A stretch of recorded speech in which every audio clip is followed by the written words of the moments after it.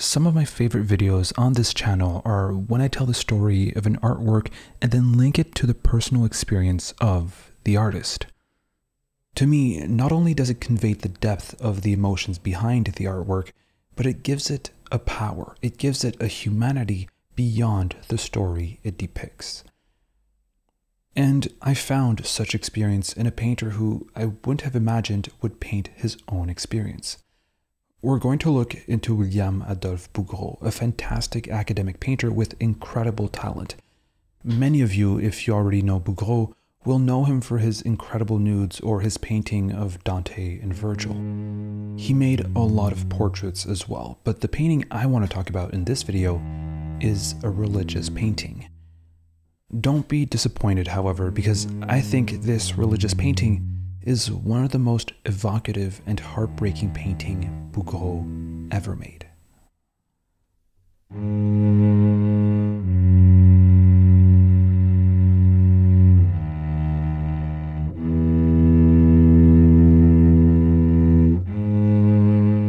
Would you like to appear in the credits at the end of each of these videos?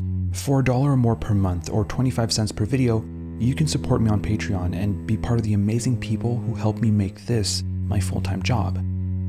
Thank you so much for considering it. It helps out a lot. Le Premier Deuil, or The First Mourning, was made in 1888 while Bouguereau had already attained international fame and recognition. This painting was bought by the Argentine collector Francisco Uriburu, which explains why it's now located in Buenos Aires.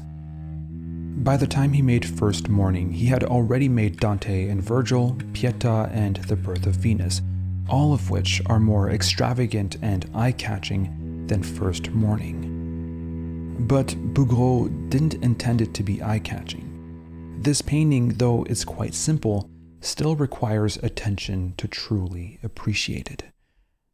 Firstly, it depicts the first ever human death, according to the Bible. The first man to die was Abel, the son of Adam and Eve, and he was murdered by his brother Cain. The instinctive way to depict this scene is by showing the murder, showing Cain killing Abel, and that's what's been done all throughout art history.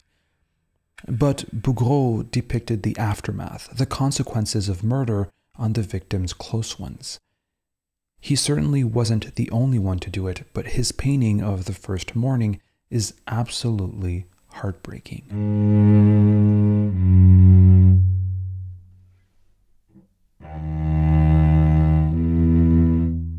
The composition is extremely simple. There are only three subjects in an almost featureless, dark, and gloomy setting.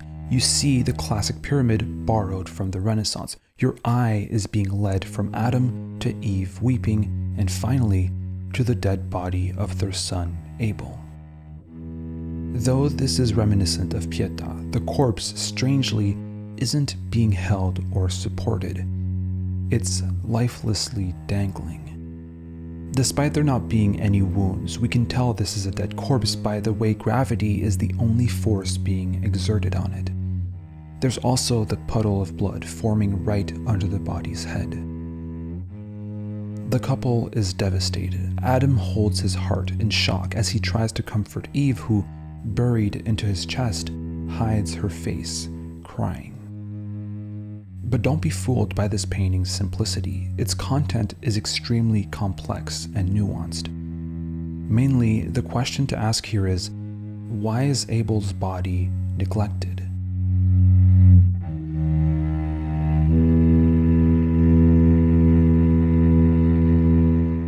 You'd imagine when depicting parental grief that you'd want both parents to focus on their dead child, to both look at him, cradle him, as exemplified by Pieta.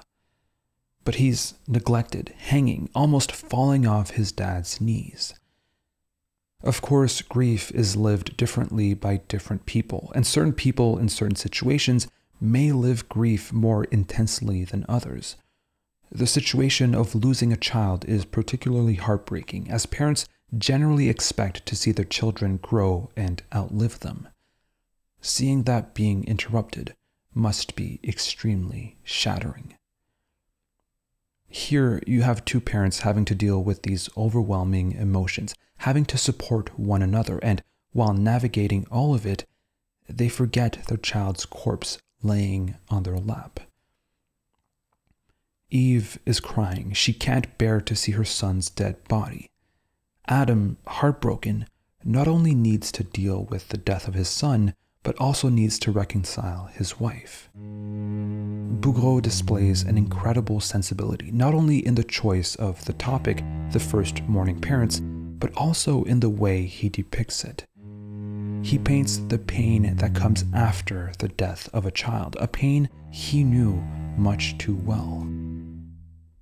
Bouguereau had five children, four of which died before him. His first wife and his second son both died before he made this painting.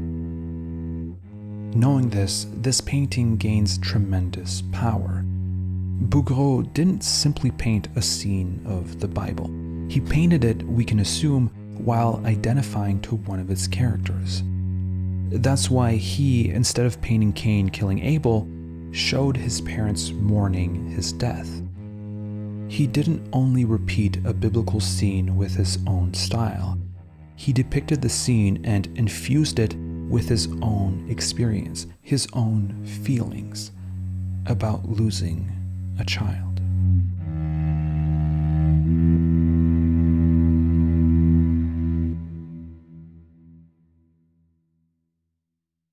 Thank you so much for watching. Thank you, Axel, Mike Wex, Roman Brandel, X Towns, Jonathan, and all my other patrons for supporting the channel. If you also want to help out, leave a like, subscribe, and check out patreon.com forward slash the canvas. Thank you.